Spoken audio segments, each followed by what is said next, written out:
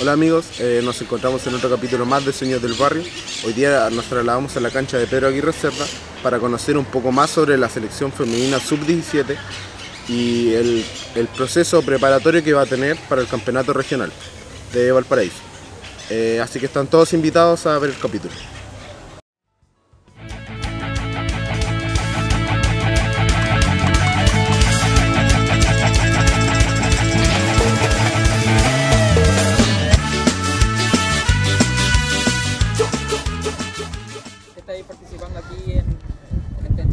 Entrenamiento? Por el tema de la asociación. porque me gusta jugar fútbol, eh, de chiquitita siempre he jugado y aquí estoy. Eh, ¿Tú fuiste seleccionada para jugar aquí por la sub-17? Sí, el Gonzalo me llamó y, y aquí estoy. ¿Qué te pareció la experiencia? Eh, eh, me gusta, me gusta cómo es, porque mm, es la primera selección aquí femenina, entonces siempre va a quedar marcado para todas las selecciones que vengan después, entonces es como un honor estar aquí y eso. Me decía Gonzalo que en octubre les toca jugar con Casablanca. Eh, ¿Cuáles son las proyecciones que tú veis para, para ese partido? Eh, ir por los puntos, eh, ganar siempre es fundamental para poder ganar el campeonato. Eh, y vamos, a ir- vamos a ir por los puntos, eh, jugar bien y eso. ¿Y el trabajo con tus compañeras? ¿Qué te ha parecido? Eh, hace poco la estoy conociendo y mm, es una experiencia bonita. La prensa con los profes.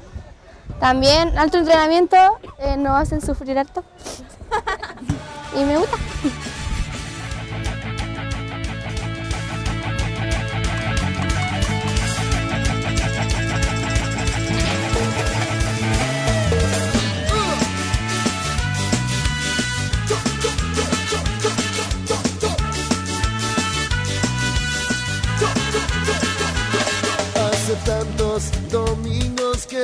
Espero. Hace tantos. De que esta sea la, la primera selección femenina, eh, ¿tú crees que va generando como un impacto en las nuevas generaciones de mujeres? Especialmente ustedes que son más jóvenes, que son de la sub-17. Eh, sí, obviamente que genera un gran impacto, sobre todo que ahora se ve mucho que las mujeres jue- juegan fútbol y va eh, sirve para que se vayan sumando en esto, sobre todo acá. Para, para que lleguen más chiquillas? Eh, sí, obviamente siempre va a faltar, yo creo, Eh, pero sirve también por una experiencia, para seguir aprendiendo y todo. Si, aprovechando que está la cámara, ¿cuál sería la invitación que le harías tú a otras chiquillas que puedan ver este video? que se motiven? Eh, que se motiven, que es una selección súper bonita, eh, se hacen buenas amistades y sobre todo sirve para seguir aprendiendo y avanzar en esto. La gambeta y un buen gol. Si el mundo tiene forma de pelota, al arco iris le puedo hacer un gol. Vamos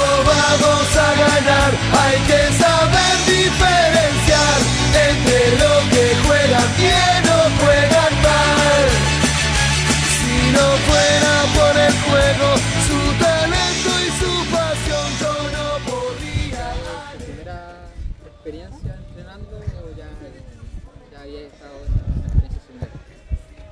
Eh, lo que es eh, una selección sub-17 amateur de la Asociación Pedro Aguirre Cerda es la primera, porque esta es la primera selección que se forma a nivel de asociación y más si es una sub-17.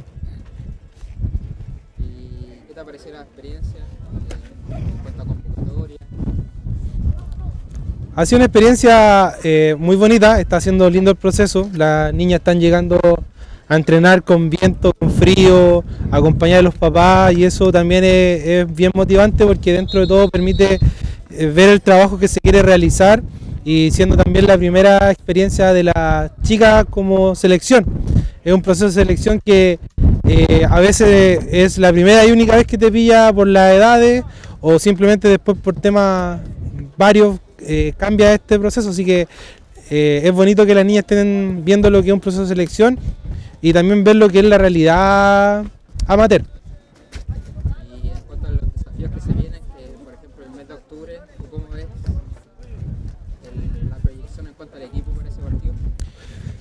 Bueno, las chicas se están preparando con muchas ganas, eh, mucho entusiasmo. La competencia regional es algo que es bastante fuerte. Eh, nos toca en Casablanca, Casablanca de por sí siempre ha tenido unas buenas selecciones, pero vemos que las niñas están preparadas para afrontar la, la competencia regional.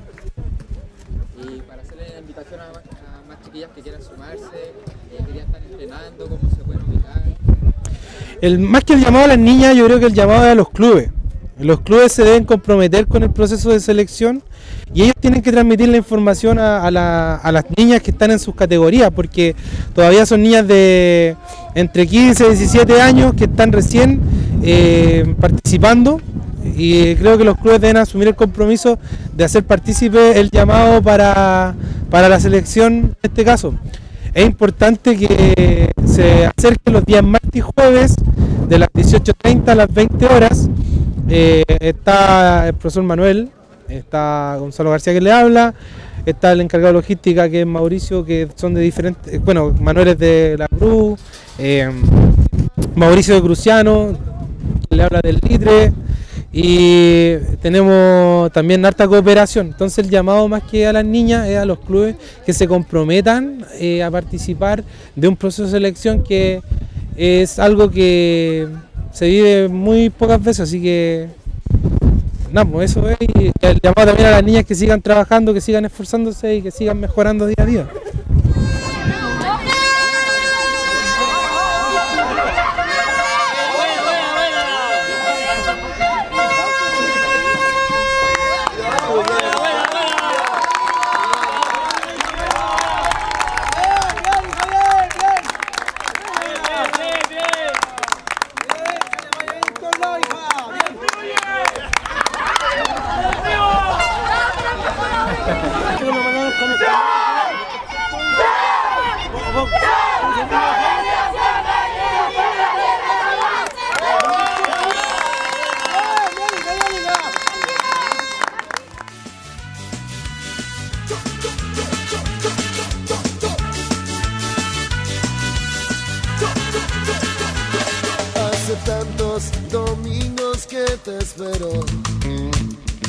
Hace tantos domingos que no estás.